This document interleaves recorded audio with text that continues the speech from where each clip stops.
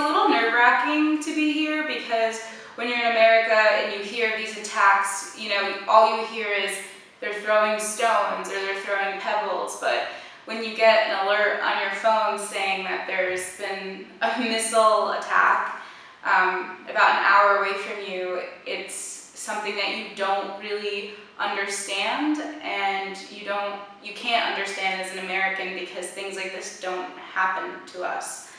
Support Israel and you know defend Israel in America.